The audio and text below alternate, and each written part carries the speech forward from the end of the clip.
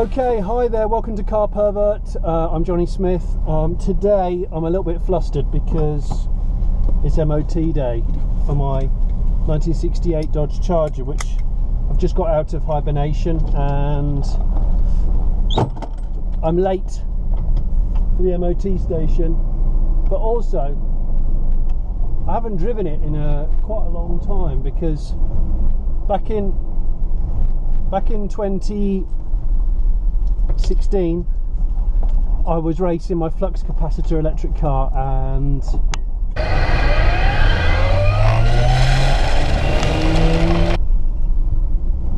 I'm not racing any electric drag car this year unless someone builds me one and gives it to me. I reckon it is running a little bit rich. You might see it. It's hunting a bit on on warm idle.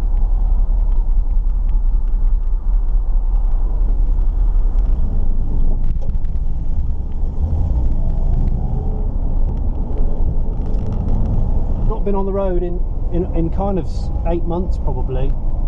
Um, so I'm just a little bit cautious. If you have to excuse me for sort of having one ear on the engine and just wanting to listen that everything's okay with it because I love this car to pieces. Last thing I want to do is damage it. Um, those of you who uh, know me um, already or know the cars that I have or, or know that um, I've had this car since 2008, so not nine years, crumbs. And um, it was a car that I bought uh, in San Diego and imported it myself uh, as a non-runner um, a numbers matching non-runner. It's a 383 big block, four-speed Hurst manual. Um, quite a rare option set on this car. Apparently, it's one of apparently it's only one of 259 made in this spec, which meant it had no power steering. Um, no power brakes, so drums all round, non-servo drums all round, and uh, 383 big block, four on the floor, and pretty much no other options apart from a radio. I think there were no other options. Um, as a consequence, very physical car to drive, but really, really enjoyable. And the thing about this car is, since um, since it's been rebuilt, or mechanically rebuilt at least, and it's had a, a, lot of stealth restoration in the body done. By that I mean I wanted the car to look like it was still patinated the way I, I kind of bought it. So uh, I had Tim at Roadhouse Retro do a really, really good and, and pretty, pretty long-winded um, restoration on it actually, although it just doesn't look it. That's a testament to his skill. Um, the whole back end was rotten, which is pretty much par for the course with Mopars.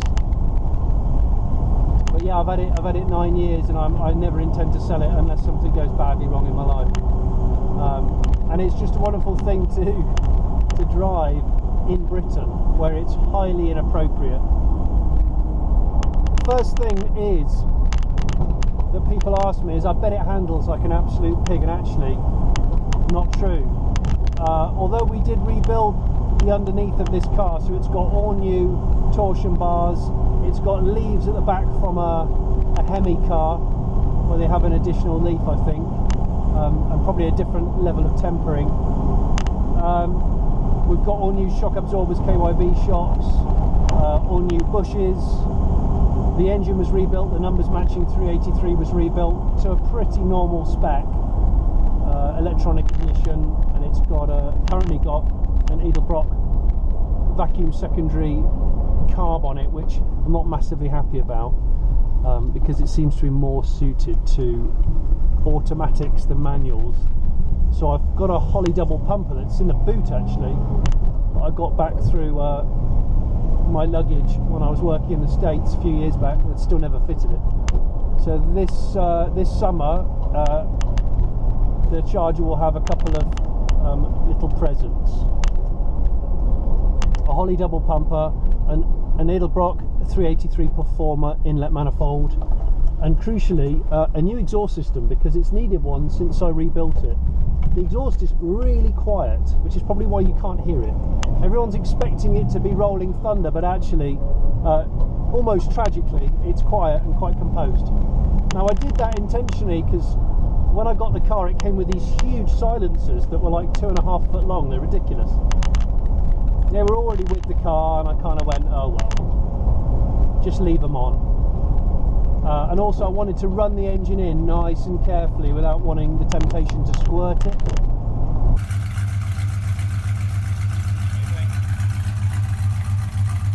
Okay, rev it like that. That's now that's louder.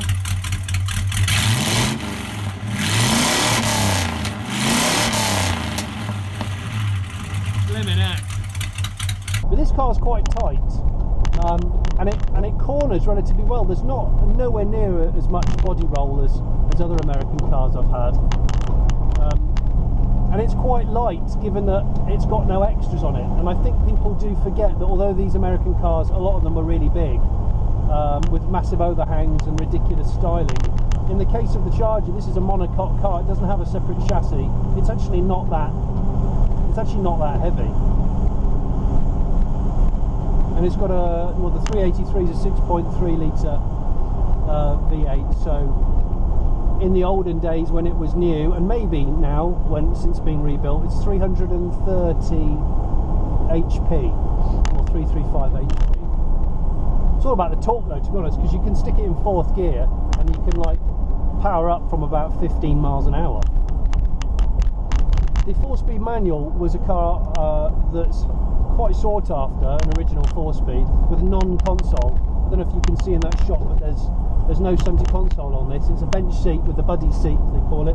So if it was the 60s and you didn't care about your kids being you'd have your kid in the middle, or your first girlfriend, and then you'd have your second girlfriend over there, whatever. But so the uh, there's a little bump on the trans tunnel where the four-speed Hurst shifter goes, and um,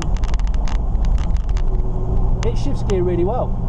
I've had the linkage uh, all rebuilt and the uh, as well as the clutch linkage because the bushes on those go crusty and awful. And actually, it's um, it's it's good fun to shift. The clutch is very heavy. It's a sort of far street clutch, uh, not a race clutch, but it is physical. I have to say, my knee starts clicking after driving it for more than about an hour and a half, and I'm not even that old.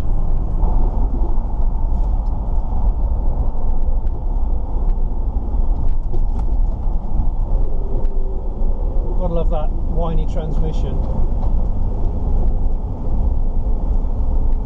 I live in a very narrow old Georgian town, uh, which doesn't lend itself brilliantly to left-hand drive Detroit monsters, but that's half the charm.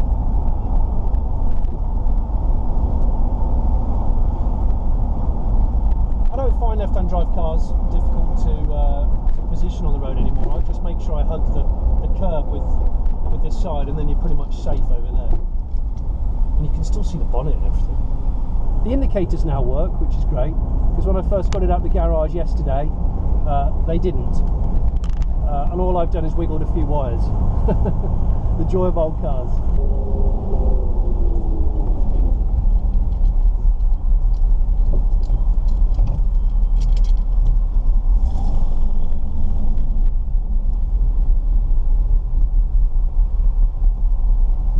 clutch leg in rush hour. Get, get clutch knee actually.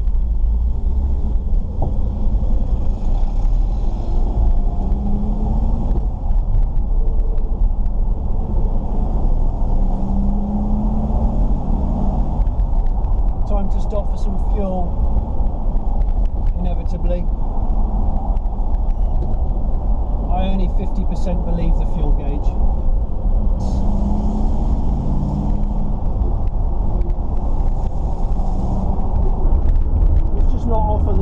drive a three pedal muscle car, especially in the UK,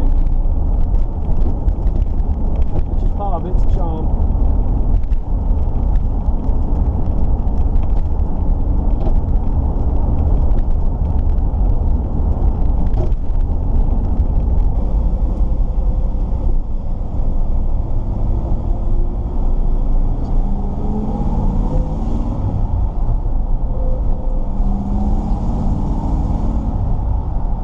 we're nearly at the uh, MOT station. I like MOTs because although we kind of dread them in, in, on the one hand, on the other hand, it's a good time to get to refamiliarise yourself with the car and know what jobs you perhaps need to jot down. And I don't agree with MOT exemption of pre 1960 cars. I think it's great if you keep on top of jobs on your cars, but if you're someone who's a bit of a skinflint, I think it's actually potentially a lethal idea. Right. Oh look, my friend Ed, who's the MOT man here, he uh, he's got himself a, a Mopar himself.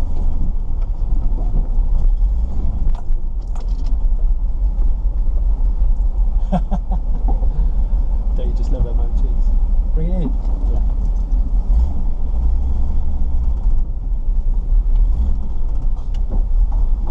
I'll just move that sack of shit out of the way and then we'll get you on, mate. Do you want me to just put it there? Yeah, put it down Yeah. there for a minute. Oh, you brought yours in. Yeah. That noise is a Harley Davidson because the garage I have my car MOT'd at is um, is a car garage, but it's also a Harley Davidson dealer, and the bikes do sound better than the cars.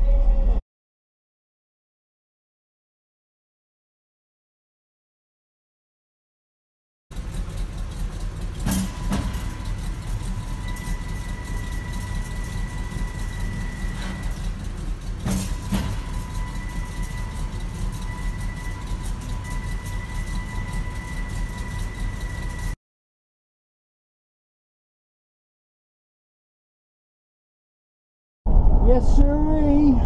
We've got an MOT.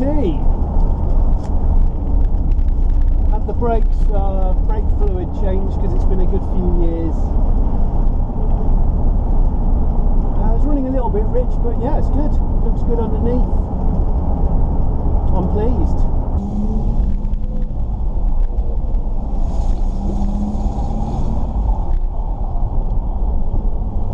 We're in Friday rush hour. Now,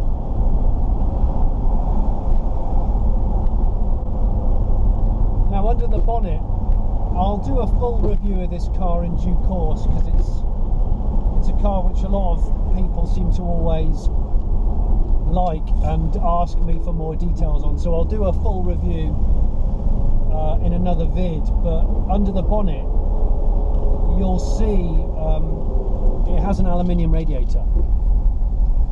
I decided to not put the original radiator back in because the cost of having the original one uh, recored was actually more than buying a you know a top line aluminium one. And it didn't make much financial sense to me so and then a radiator is really quick to swap out and reversible. So since putting the aluminium radiator in I have to say it behaves impeccably. It's a normal normal crate driven fan cooling fan. And even when I'm on the M25 driving down to Goodwood and I've been stuck in traffic for an hour, and I don't tend to shut this off if it's running in a lot of traffic because hot starts on Mopars are notoriously a little bit um, problematic. But it, it will sit at 80 degrees centigrade like for an hour or more. It's really, it behaves extremely well. People uh, don't really make eye contact with you at the lights, which is quite funny. They think you're going to be some sort of fast and furious meathead. Which I understand. Because I do look like Vin Diesel. Quite a lot. Anyway, that's all for, uh, for now. Uh, please subscribe to Carpervert on YouTube. Much appreciated. And I promise I will make an in-depth video about the restoration and the life of this car in due course. Cheers, guys.